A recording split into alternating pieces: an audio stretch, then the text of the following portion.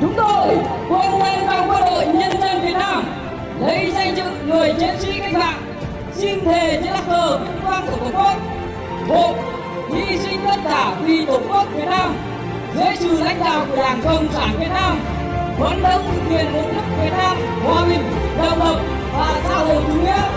góp phần tích cực vào cuộc đấu tranh của nhân dân thế giới vì hòa bình, độc lập dân tộc,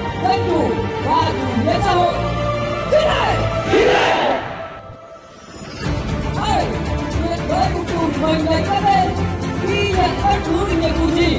để tận tâm, tận lực, thi hành nhanh chóng và chính xác. Thi này! thi này! ba không ngừng nâng cao tinh thần yêu nước xã hội chủ nghĩa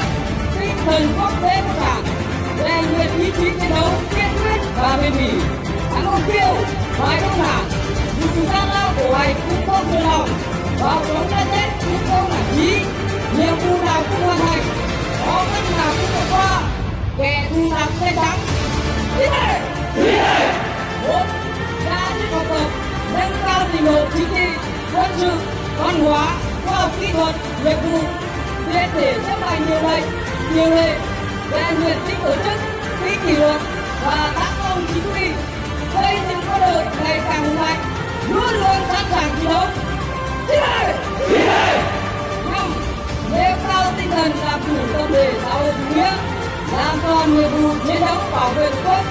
xây dựng chủ nghĩa xã hội và làm tròn nghĩa vụ quốc tế luôn có chấp hành và vận động nhân dân thực hiện mọi đường lối chủ trương của đảng chính sách và luật pháp của nhà nước chính này luôn luôn cảnh giác tuyệt đối những bí mật quân sự và bí mật quốc gia nếu bị quân bị bắt dù phải chịu cực kỳ tàn khốc thế nào cũng cương quyết một lòng trung thành với sự nghiệp cách mạng không bao giờ phạm tội xứng cai chính này chính này đoàn kết chặt chẽ với nhau như là thịt bên tình thương yêu tay cấp bên lòng giúp đỡ nhau lúc thường cũng như lúc tay giật thực hiện toàn quân một ý chí. Đi này đi này ra sức giữ gìn vũ khí trang bị quyết không để hư hỏng hoặc rơi vào tay thù luôn nêu cao tinh thần bảo vệ tổ hồ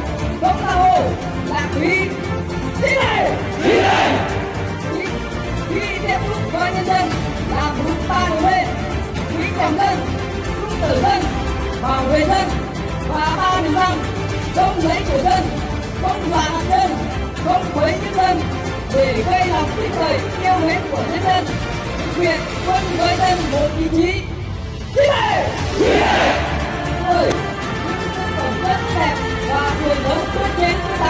thắng quân đội nhân dân